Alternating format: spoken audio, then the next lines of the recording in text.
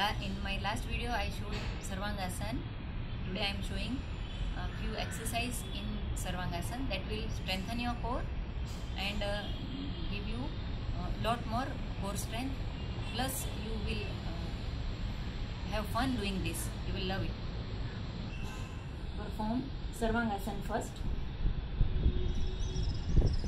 Take steady pose for 30 seconds.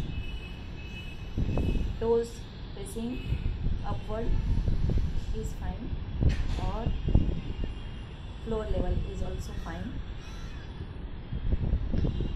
After that, you can start doing exercise this position. You start with cycling. Clockwise. You can perform 10 to 20 anti-clockwise.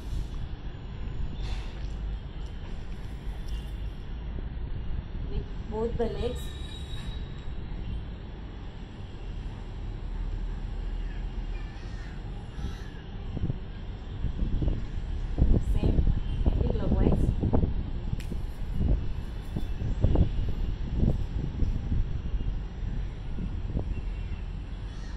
You can perform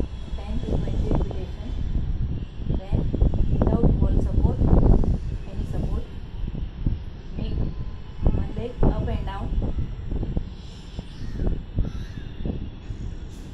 10 to 20 repetition same with other leg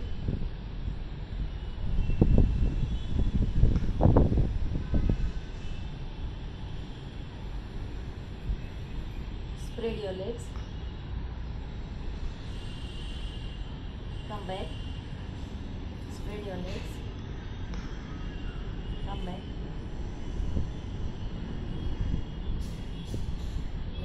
Bhadrasana like pose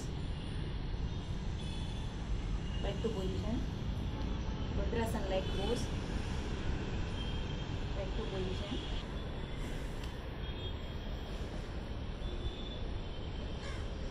Padma Sarvangasana you can take swings in Padmasana that is called Pankhasana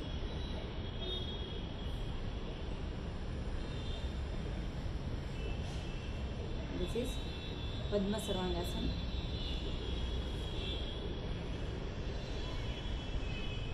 again hold this position and hold for 30 seconds slowly release the asana. So you must have enjoyed doing few exercise in Sarvangasana pose. Keep practicing things. We'll come with another asana, another uh, exercise. See you again. Take care and stay fit.